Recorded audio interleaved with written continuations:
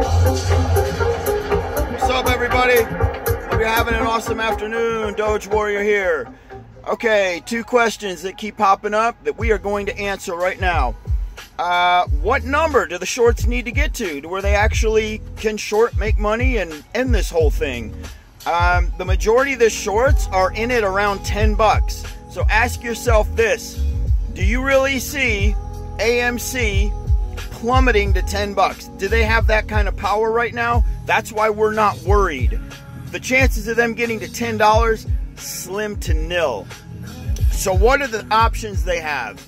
They have three options, okay?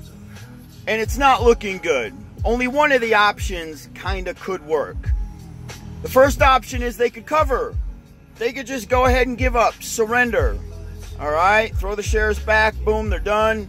Cut their losses and go. They don't want to do that. Option two is what they'd rather do, and that is create another short position.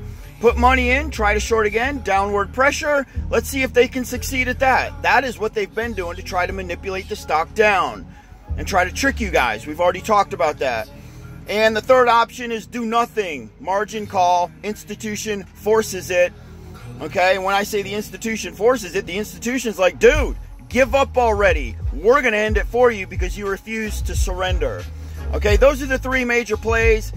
It's play two that this afternoon, they've probably already got that trick up their sleeve. I'm sure they're planning it right now. They're going to drop that bomb at like 2 o'clock or something. Who knows? Keep your eyes open for that trick. All right? Um, just realize this, y'all.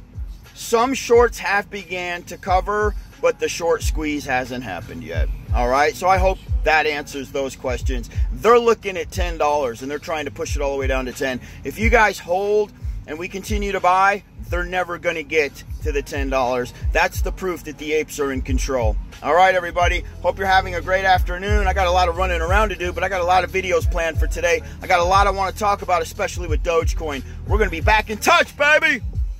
Doge Warrior to the moon. Shaboom. Peace.